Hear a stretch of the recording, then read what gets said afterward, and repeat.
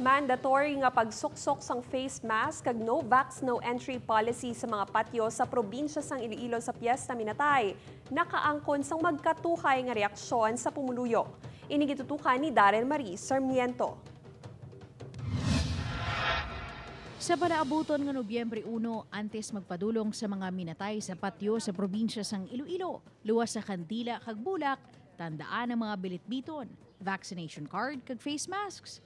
Ekstra nga panagang sa COVID-19 nga ginmando nga mangin mandatory sa gobyerno probinsyal, pinaagi sa executive order ni Governor Arthur Defensor Jr. Pamulso sa publiko, basta sugo sa gobyerno, yes sir na lang. Bentaha lang kung bakunado ka, kakumpleto sa rekisitos antes makasunod sa patio. Mayo man iti may ari man ko gani card duwa ang card ko. Booster kag kan oh. Apang sentimento sang iban, face mask, vax card, na naman.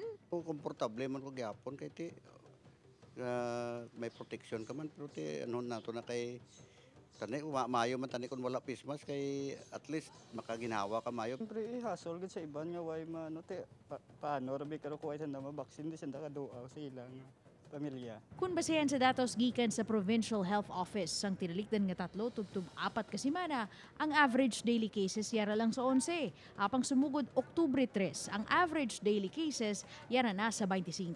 Ginatumod kaw sa sini ang Omicron XBB kag XBC variants. So amo man ni siguro ang nga ang nga nag suddenly no ah, nag-amat-amat ang pag-increase naton sang cases. Dugang pa sang health authorities kung pwede pa lang, hindi gid magpakampante. Ilabi na sa mga lugar nga hindi mapatigayon ang social distancing.